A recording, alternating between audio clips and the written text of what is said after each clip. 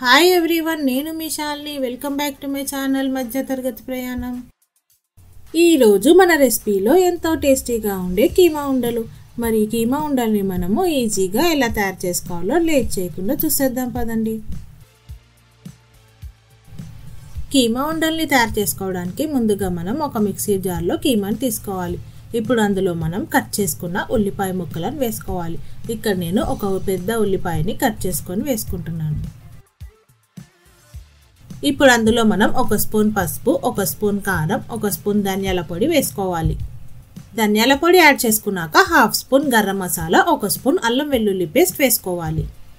అల్లం వెల్లుల్లి paste add చేసుకున్నాక రుచికి సరిపడిన ఉప్పు వేసుకొని మిక్సీ మూత పెట్టుకొని మెత్తగా రుబ్బుకోవాలి. ఇక్కడ నేను చూపించిన విధంగా మెత్తగా రుబ్బుకోవాలి.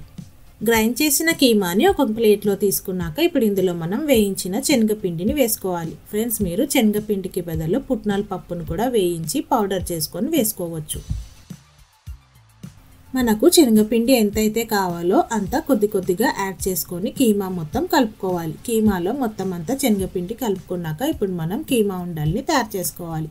చేతికి కొద్దిగా ఆయిల్ వేసుకొని ఇలా నేను చూపించిన విధంగా బాల్స్లా చేసుకొని పెట్టుకోవాలి. కీమా ఉండల్ని మనము ఏ సైజులోనైనా చేసుకోవచ్చు. ఇలా మనము అన్ని చేసి పెట్టుకున్నాక డీప్ ఫ్రైకి ఆయిల్ పెట్టుకోవాలి. ఆయిల్ వేడెక్కాక మనం చేసుకున్న కీమా ఉండల్ని ఒకటొకటిగా వేసుకోవాలి. కీమా ఉండల్ని ఫ్రై చేసుకునేటప్పుడు మనం స్టవ్ సిమ్లో పెట్టుకొని ఫ్రై చేసుకోవాలి. ఇలా మనకు కడాయికి ఎన్ని అయితే సరిపోతాయో అన్ని వేసుకొని ఫ్రై చేసుకోవాలి. కీమా ఉండల్ని వేసుకోగానే మనము కదపకూడదు. కొద్దిసేపు అయ్యాక అవే పైకి వస్తాయి అప్పుడు మనం మెల్లిగా స్పూన్తోనే ఇలా తిప్పుకోవాలి.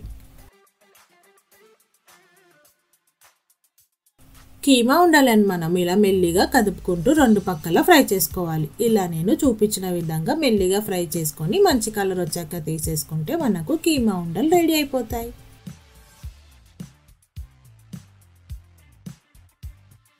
ఫ్రై అయిన కీమా ఉండల్ని మనం ఒక టిష్యూ పేపర్లో తీసుకుంటే ఎక్సెస్ ఆయిల్ ఏమైనా ఉంటే అది పోతుంది. కీమా ఉండలు మనకు రెడీ అయిపోయాయి కాబట్టి ఇప్పుడు మనం సర్వ్ చేసుకుందాం. మరి ఇంకెందుకు ఆలస్యం ఫ్రెండ్స్ మీరు కూడా ఈ కీమా ఉండల్ని ఒకసారి ట్రై చేసి మీకు ఎలా వచ్చిందో నా కమెంట్ సెక్షన్లో మెన్షన్ చేయండి. ఈ రెసిపీ కనుక మీకు నచ్చినట్టయితే లైక్ షేర్ మరియు సబ్స్క్రైబ్ చేయండి. ఓకే ఫ్రెండ్స్ మరి రేపు ఒక మంచి రెసిపీతో మళ్ళీ కలుద్దాం. Stay safe and please don't forget to wear mask thank you for watching bye bye